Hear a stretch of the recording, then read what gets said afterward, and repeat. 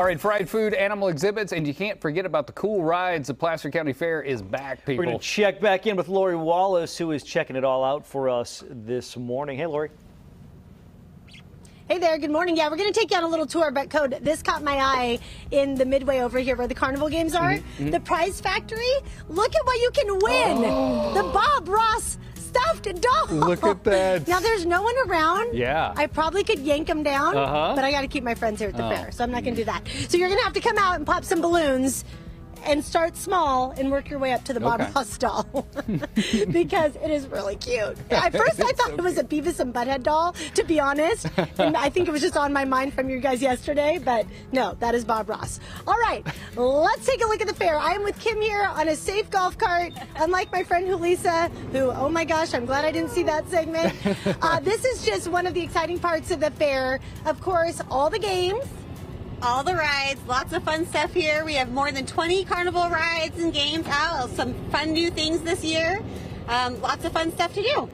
Okay, so this is the 84th year of the fair, the longest running event in Placer County. Yes, absolutely. 84th year. We only missed one year because of COVID. We were open last year, so very excited. Um, out in the carnival area, we also have a BMX stunt team performing, and on Sunday we have the second annual rib cook-off out here as well. Okay, so we're, we're going through the midway now, all the different rides. Um,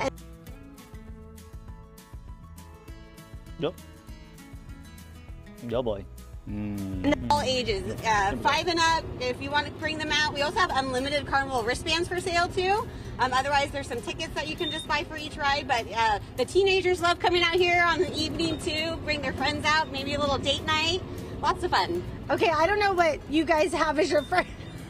I wish you could see Scott. He's gripping the golf cart in front of me. He's like, holding on for dear life. Um, the zipper was my first ever carnival ride that I went on. I did not know it went upside down until I was on it, and it was oh. too late. Um, but you have that ride out here. We do, yes. Uh, I actually got to watch some uh, uh, people ride it yesterday, and I'm not sure they knew it flipped it flipped around either. But it's always fun to watch and hear all the screaming and laughing that's going on. Yeah. Tip: If you're going to get on the zipper, empty your pockets. Don't have anything in your pockets when you get on that ride. Okay, so we're heading uh, around. This is kind of like a little dead zone that we're going to go through right now. But we're headed over to the air-conditioned buildings because it is going to be so hot out here through Sunday, and you have a lot of fun things happening in the exhibits. We do. Yes, we have in Jones Hall. We have a still exhibit hall. All the um, contests that you have, all the arts and crafts, all the great uh, school projects that kids do, sewing. You can see uh, preserves as well.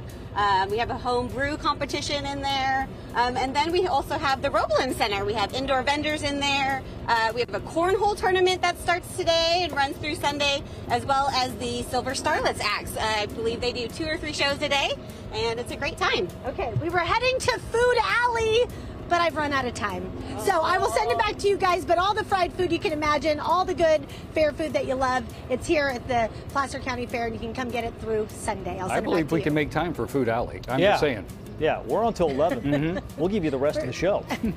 That's but, true. Yeah. That's true. Thank you, Lori.